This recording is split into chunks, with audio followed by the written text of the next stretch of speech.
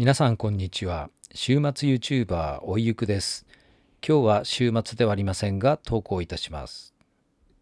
先日 Lenovo の純正 USI スタイラスペンを買ったというお話を報告したところですが実はこの USI ペンは Lenovo IdeaPad Duet で使えているのですがちょっと困ったことが起きています。USI ペンでは書けるのですが今まで使っていたパッシブのペンや指でメモが取れなくなってしまいました。いつもですとこうやって指はパッシブのペンで画面をこすっていると切り替えしますか？というふうにメッセージが出るのですが今日はなかなか出てくれません。でタッチが反応しないのか？というとタッチは反応します。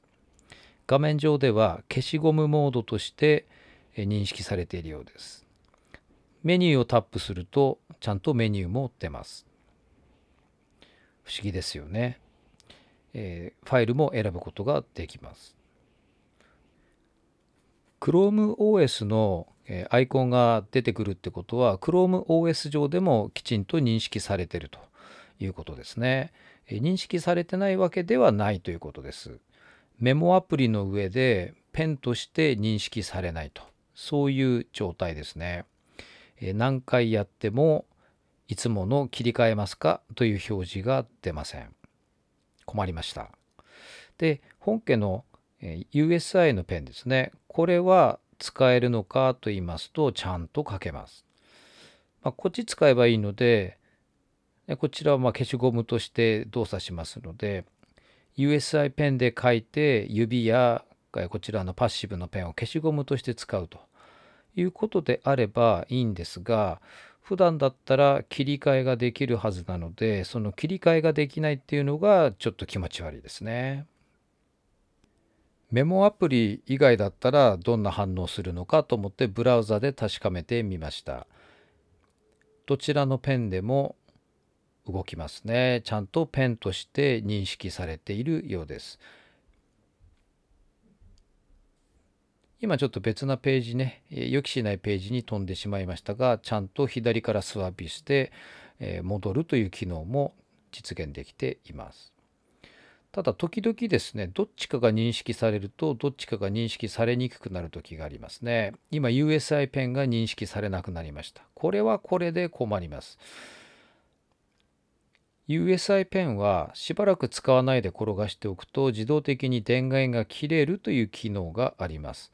実はこの USI ペン時々電源切れた後復帰しないことがあるようです。書けませんね。逆にパッシブの方のペンは書けるようになりました。どうしたもんでしょう。ただこちらのアプリでは今度どっちも書けなくなってますね。パッシブのペンも書けない。指も書けない。USI のペンも書けません。これは最悪です。どっちのペンでも指でも書けない。そんなことってあるんでしょうか？こういう時はもう最後の手段です。電池を抜きます。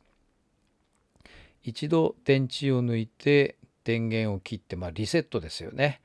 リセットしてあげれば大体は元に戻るんじゃないかなという期待をしております。どんなもんでしょうか？これで書ければまあまあ許してあげてもいいですかね。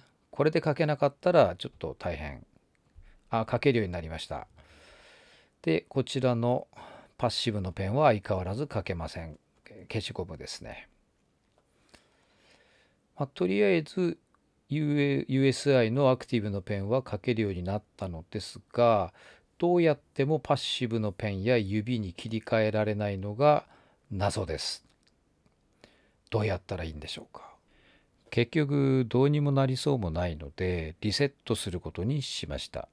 リセットっていうかね一旦電源を切って電源を再投入するということですね。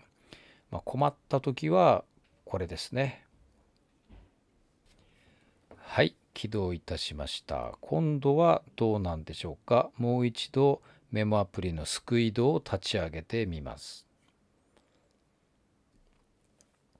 はい立ち上がりました。立ち上がったんですが相変わらずアクティブなペンでは反応しません。グリグリしても切り替えますかっていうメッセージも出ません。指も同じです。完全にアクティブペンのモードになっちゃってる感じですね。